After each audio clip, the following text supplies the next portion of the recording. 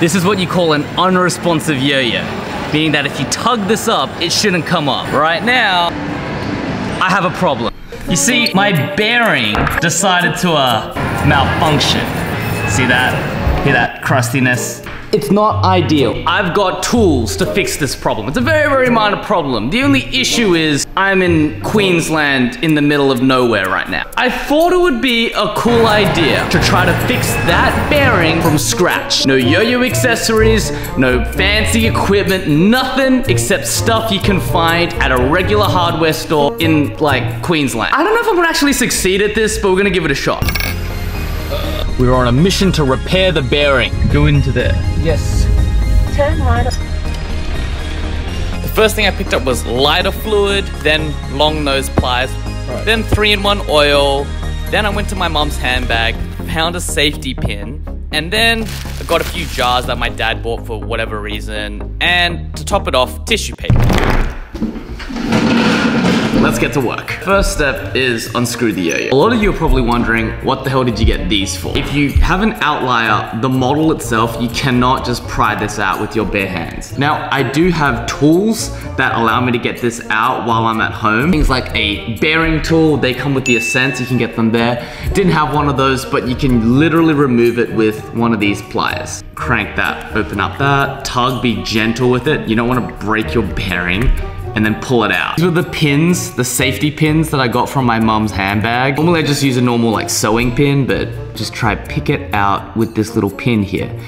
Again, I don't really recommend using a safety pin, but this is all I've got right now, so lift that plate up and voila, haha, safety pin comes, C-clip comes out, just tap on the thing like that, and you have an open bearing. So as the theory goes, you're supposed to put one part this, three parts this. I've never tried this before. Just wanna get your pliers. Again, this is handy. Cut the top open like that.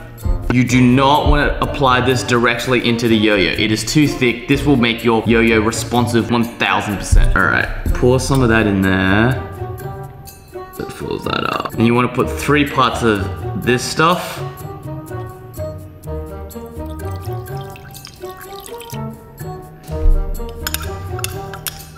Get your jar of pure lighter fluid, throw this bearing inside here, as per usual, and then swish it around in there a little bit. Now you want to get that tissue paper, this, open that up, boom, put that inside, leave that to dry. If this is a thin lube substitute, I am going to start to vary this up a little bit differently because I want this yo-yo, this bearing to be spinning not just fast, but unresponsive fast.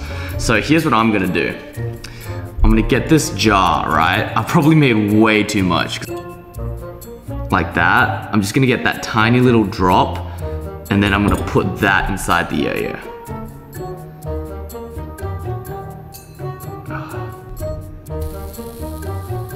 Hear that? That's pretty darn good. It's still a little rattly. So what I'm gonna do is I'm gonna add a tiny, tiny microscopic drop into it like that. Extra bit there.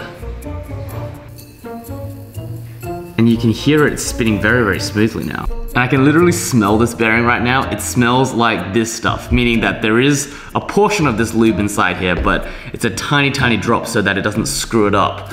All right, but let's try the final test connect all of it like so. All right. Look at that. Dead unresponsive. Sick. Even throwing this thing as hard as I can, dead unresponsive.